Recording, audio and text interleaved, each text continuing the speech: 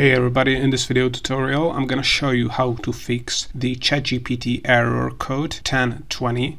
Alright, so if you try to open up chat.openai.com and you bump into the error code 1020, here's how to fix it. So the first option is to open up your web browser settings.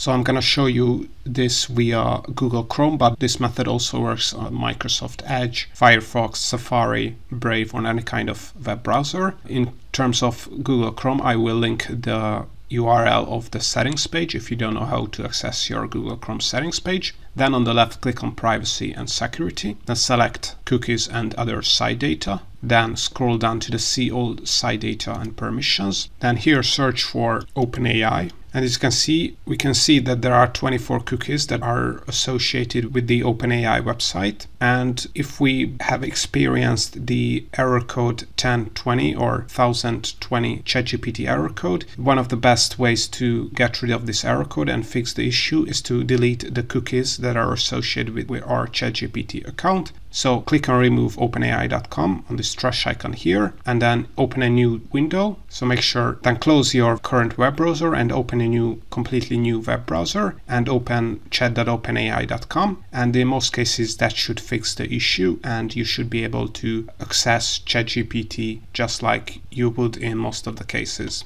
If the method I have just shown you doesn't work, the second solution is to use a VPN service like ExpressVPN. And the reason I'm recommending ExpressVPN is because there is a 30 day free trial. So if you don't like ExpressVPN, you can get all your money back if you cancel within 30 days. And there is also an exclusive offer for you if you use the link in the description below. I think you can get three months for free if you sign up for ExpressVPN.